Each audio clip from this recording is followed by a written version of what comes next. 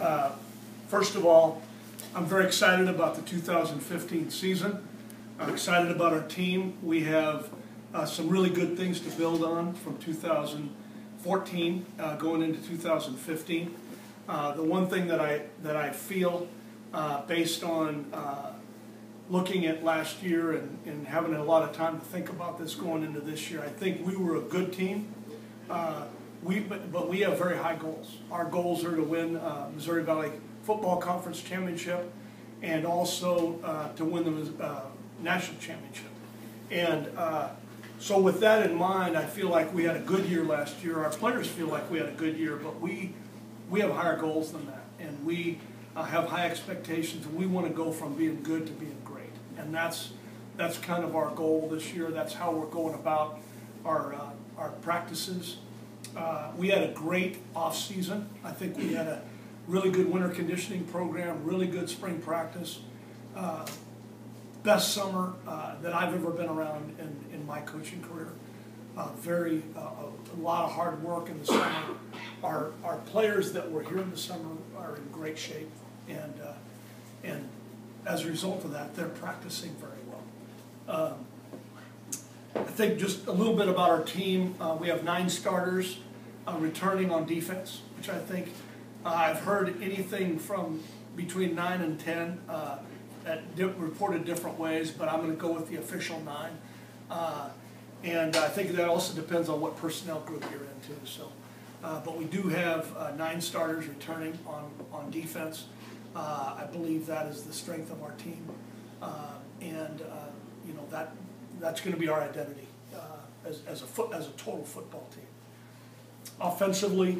Uh, we have six starters returning. Uh, I feel uh, you know very good about our offense. I think we're uh, I think we're going to be much stronger in the offensive line uh, than we've been. We have more depth in the offensive line than we've had, uh, and I feel very good about that. I'm going to go a little bit more into detail as we go along. Um, in regard to special teams, as far as specialists, the good thing is our long snapper returns, and he's Josh Apple is, uh, I think he's the best in the Missouri Valley uh, Football Conference and, and has a chance to be uh, one of the best in the country in FCS football. Uh, we, our punter is returning, which is positive, Osborne Ume. Uh, and uh, we expect him to take another step. Our field goal kicker, Eric Hydorn, is returning, and, and that's very positive. who he, he made some very important kicks for us last year and he has a lot of experience going into this year. Uh, as far as uh, you know, looking at our, our team on defense, some individual people that I want to highlight. Uh, first of all, Connor Underwood is, returns as uh, outside linebacker slash uh, defensive end, and uh, he's a first team All Conference selection preseason, and also an All American, which I think is exciting for for Indiana State and for uh, you know just the, our conference and our city of Terre Haute. Um, Mark Sewell, I think, is the best safety in the league. Uh, Travis Starks, I think, is the best corner in the league. And uh, even though Kendall Walker wasn't named to a preseason team, I think he's the best linebacker. And so those are guys that I think are, are special. Uh, then uh, other guys on defense, I could talk a lot about a bunch of guys, but another guy I want to talk about is Jameer Thurman, who is, uh, uh, you know, all those guys I've mentioned so far are all seniors. Uh, Jameer Thurman is a is a youngster, uh, junior, and then Conlon Cassidy is is back, and I, you know, it's exciting to be able to talk about a defensive lineman that's a returning player and that, that's a good player, and uh, kind of the strength of, of our interior on defense. On offense, kind of the, you know, I've already talked about the offensive line. Uh, just mentioning some guys there. Uh, Dakota Vermillion, our left tackle, and uh, James Officer, who was our center, I think are both uh, excellent players. And there's going to be more. There's a lot of competition there. Uh, you know, it's good when we don't. We have several candidates to be starters in the offensive line, and we don't know who they are yet. And that's a good thing because that means we have some depth. The court, you know, the story I think is the quarterback position. Uh, the uh, you know, we, we have two guys that are competing for the job. Obviously, Mike Parrish was a senior last year, had a great year, and uh, we're sorry to see him go. Uh, but uh, we're excited about the guys that we have. Uh, first of all, re- returning from last year, Matt Adam, who was the backup quarterback last year, started and played the entire Illinois State game, did a very good job. Uh, he is one of the competitors for the job, and then uh, Zach Klein, who is a transfer from University of California by way of Butte uh, College in, in Northern California. And uh, we're excited about him and both of them. And I think they, they both bring a lot to the table, and that uh, is going to be decided over a period of time as far as who uh, will be the, the starter. Uh, that's going to, you know, we've got, you know, today is, uh, we're, we're at uh, August 13th, and we've got, I think, about th- three, a little, almost three and a half weeks until our first game, so we've got some time uh, to make that decision. Um, uh, Lamont Booker uh, is our, is our running back. He's worked very hard, had a really good offseason, a really good summer. Uh, Excited about him. Our receiving core, uh, feel very good about them. Uh, Gary Owens, who was our uh, big play receiver last year, uh, we have high expectations for him. Uh, Robert Tonyan, who was a converted, converted quarterback a year ago, and now I think he sees himself and our team sees him as a, as a receiver. And he has uh, had a very good, you know, kind of came into his own at the end of last season and has had a really good spring, summer, and, and training camp. And, and I expect big things out of him. Another guy is Samson Livingston, who is, who is a, a guy that's been a productive performer for us and a very consistent player. Um, Probably, if if I was to say, there's always the question that comes up about a new player that will have impact. Um, I can't speak uh, about offense and defense, but I do, I can say that uh, we, uh, we believe uh, very strongly in special teams. Uh, That's one of our, in our plan to win, that's a huge, uh, very high on the list.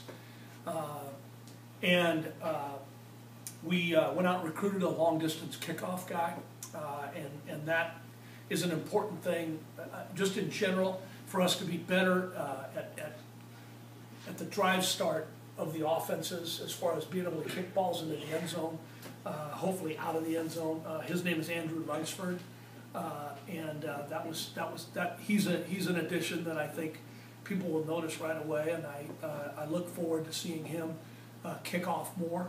Um, and so uh, that's, you know, just some overview of our team.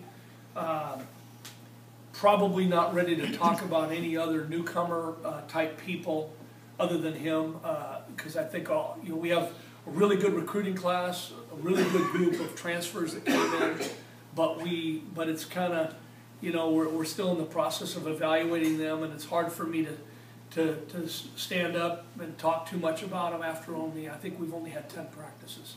So, um, schedule, love our schedule, excited about our schedule. Uh, We open up September fifth at home, which is uh, a great thing. I think it's been a while since we've had a home opener. I know for sure since I've been here, this is the first time we open at home against Butler uh, University, who we have a tremendous amount of respect for. Uh, And, uh, but we're excited to, to be playing at home on our opener. Our uh, next game after that, we get to stay in, in the state of Indiana, and we uh, play Purdue at Purdue in West Lafayette. My understanding is that's going to be uh, ESPN News national television game, uh, which I think is a real uh, plus. I think it's going to be a noon start Eastern time. Uh, then uh, after that, we go to uh, we we come back home again. We're still in, we're back home again in Indiana. I didn't mean to say that, but it came out. We're back home again in Indiana, week three, and we play Southeast Missouri State, and and and then we have a bye before we go into uh, the conference schedule, which, as we all know, is is the best uh, FCS conference in the country, and uh, and it's going to be a uh, a great challenge. So that's that's uh, a little bit about the 2015 uh, team, and uh, it's a different team than we've had before. One of the things I think is important to know is that every team's a different team, and this is a new year, and, and, we're excited about that, so. Yeah, I think, we look at that as a challenge. You know, one of the reasons, I I really believe this, one of the reasons guys come here is because of this league. You know, I, I mean, it, this is the best league in, in, in FCS football, we all know that. And, I mean, I'm, I'm sure the Big Sky would have some kind of a argument with, on their part, but I, I don't think it's, there's any question. Uh, As far as the number of teams ranked, the, the quality of, of the teams in the league and the competition level. So we're, you know, we accept that challenge and, and we're excited about it and, you know, we know, we've got our work, we have, we, you know, we have a lot of respect for the teams in our conference. And the interesting thing, you know, there's, I think team, uh, six teams that are ranked, is that correct? Uh, But you look at our league and every team is good. There's nobody, I mean, you know, we had to run a circle of death, uh, against Missouri State to beat them, you know. Uh, We, we had a devastating loss to Western Illinois last year. And those two teams aren't ranked, but those are really good football teams. And so, uh, you know, we, we understand, I mean, it's, you know, we know it's a great conference.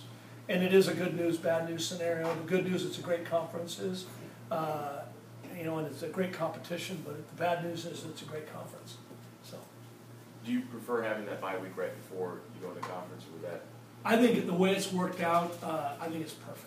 You know, to have three non-conference games, two of which are at home, three in the state of Indiana, then a bye, and then we go into the conference. We open up at Missouri State, which I think it's easier to open away at, when you have a bye.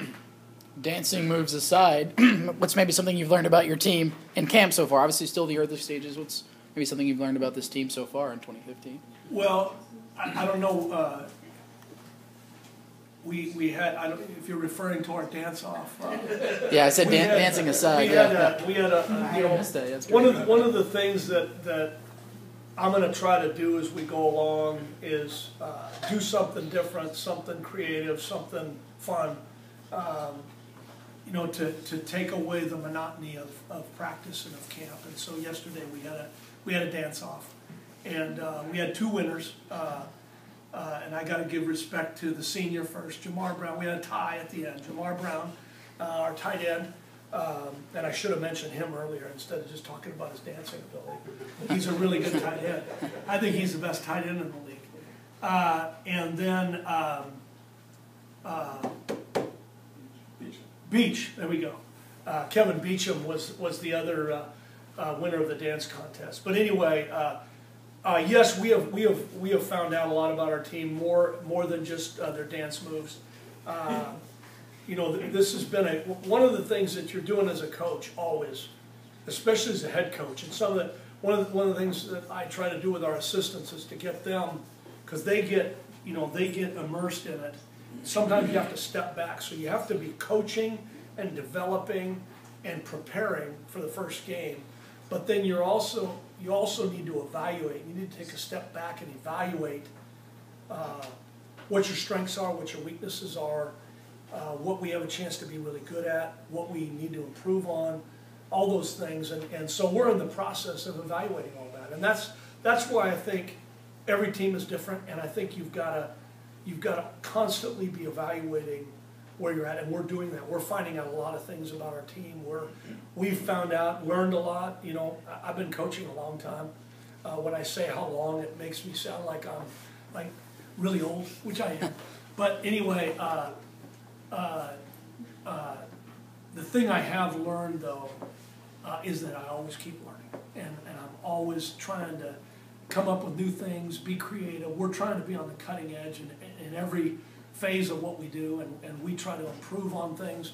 There's things that are successful and that are uh, that are things that we know work, uh, and we're going to keep doing those things. But there's also things that we want to evaluate and and and change and improve on, and, and that's something we're in a constant process of doing. I'll be honest with you, I think it's too early to even answer that question. Um, I think they're both really good. I think, uh, I think, uh, I, I, I'm, I'm excited about that position. I think when you have when you have two really good ones, that's a really good thing. Um, And so I, you know, I, I think, I think both of them do a lot of things really well. And, uh, and I think that, uh, uh, it's hard for me to pin that down right now, to be honest. I'm in the process of, of, of evaluating that and watching that. Is there some added pressure, obviously, for you maybe this year, year three? Everyone's obviously the, the program is still buzzing and still building after last year's success. You guys, quarterback aside, have a lot of depth this year. Knock on wood, year three. Some coaches look at year three as always a, a year to take a good step. You guys took a great step last year.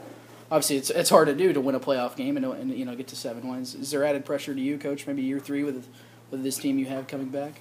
Uh, first of all, we had eight wins, by the way. Yeah, yes. But Anyway, uh, I think, um, I don't, you know, I, if I feel any pressure, I feel it, I put it on myself.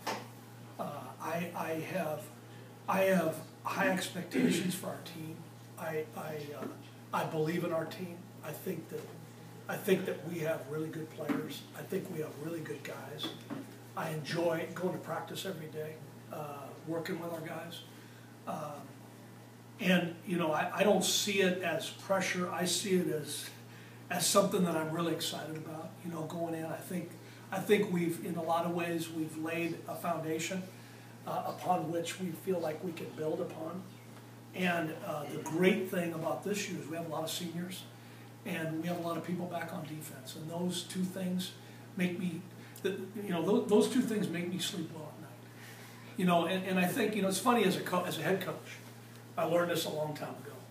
Uh, you sleep well at night if you have, if, if you have a good defense, if you have a good long snapper, you have a good punter, if you have a good field goal kicker, I know, I'm gonna keep going. And if, and you have good quarterbacks.